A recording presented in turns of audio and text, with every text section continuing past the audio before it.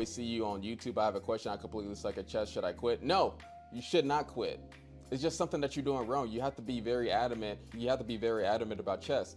Chess is a very, here's the thing that y'all gotta know. Chess is a very humbling experience, right? Because when you first start playing chess, you lose pretty much all your games, especially if you start on chess.com. But as you keep on trying and as you keep on studying, doing puzzles, you kind of see yourself progressing. Oh snap, okay, I'm seeing more things. Oh snap, I seen that that piece is being attacked. I should move it. Oh snap!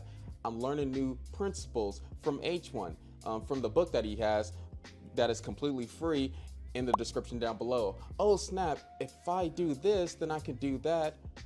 Oh, this is winning. Let me learn how to win these type of positions. Oh, I lost this game because of this. If you keep on doing that, you're gonna you're gonna break that barrier, and then you're gonna stop losing, and then you're gonna be happy because you kept on playing chess.